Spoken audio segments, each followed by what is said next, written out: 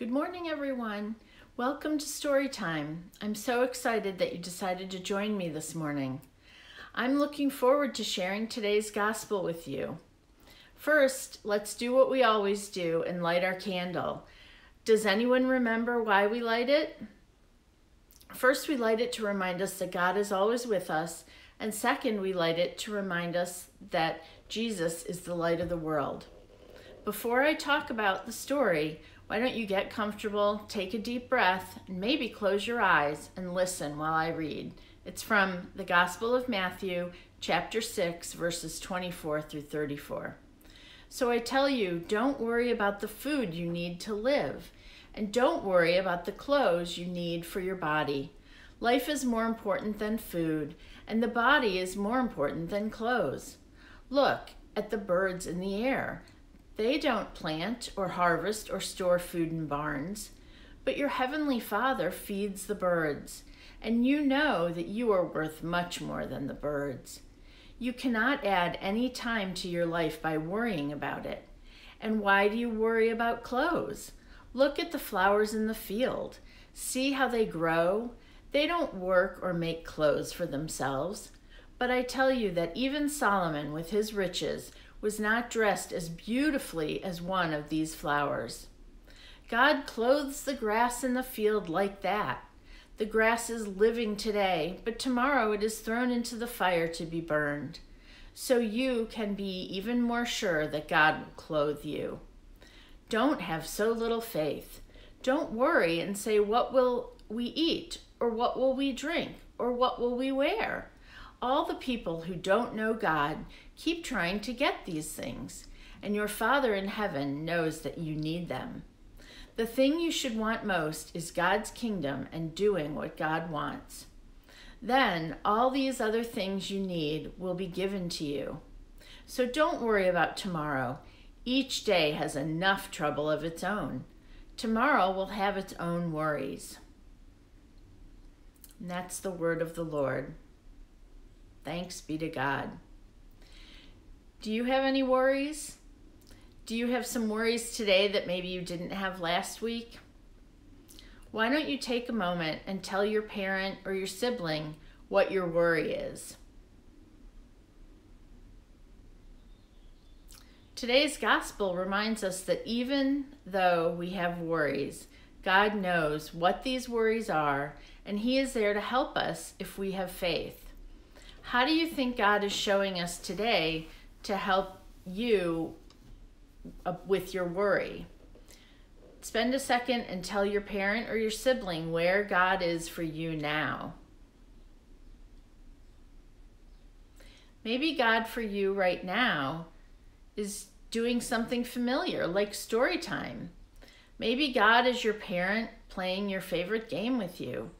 Maybe God is your friend when you play together in a video chat. Now I want you to think about where you are God for someone else when they worry. Can you tell your parent or sibling? Are you God when you hug your mom or dad after they've had a long video call? Are you God when you video call your grandma and read her a story or show her a drawing you made?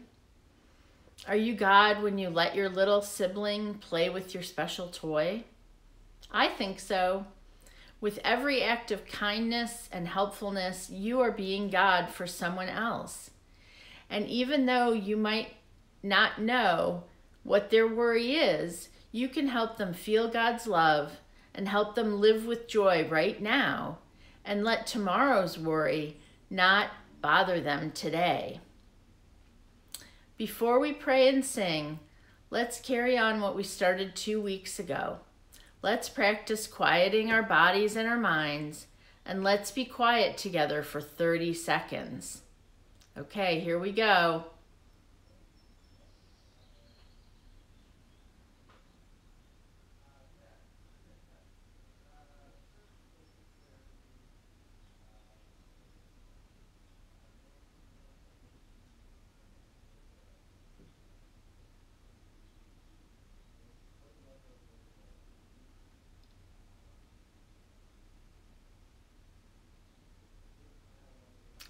Thank you. Did you make it? And now let us pray. You can repeat after me as you usually do.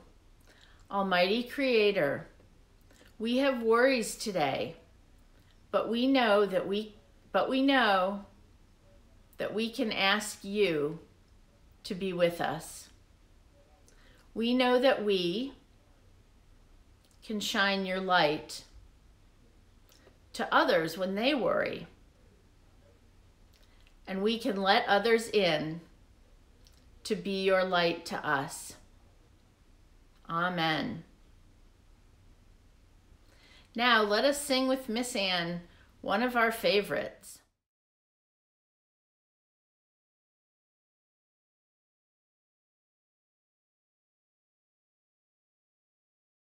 On a day like this, on a day like this, on a day like this, Let's add another one. On a day like this, on a day like this, on a day like this, oh, I need the Lord to help me. Let's add one more. On a day like this, on a day like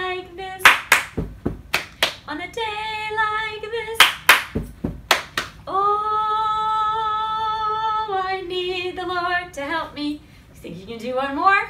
On a day like this, shh, on a day like this, shh, on a day like this.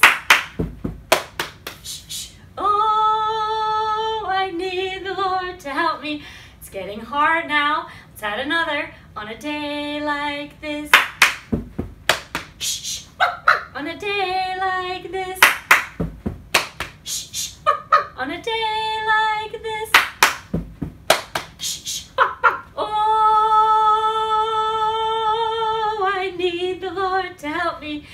think we can do one more? I'm not sure if I can do one more. Let's see. On a day like this. Shh, shh. Woohoo! On a day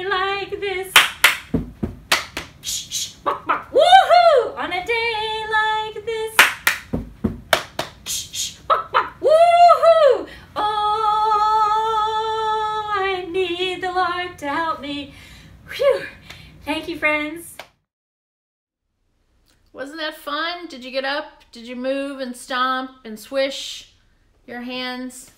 I know I did. Thank you, friends, for being with me today. I look forward to seeing you live in Sunday school at 10:15 on Facebook and live again for Legos for Lent. If you missed them live though, you can pick them up on Facebook on our page or on our regular website. We'll have links to the videos after the they're done. So have a great week ahead and don't hesitate to reach out and let me know how you're doing. Bye.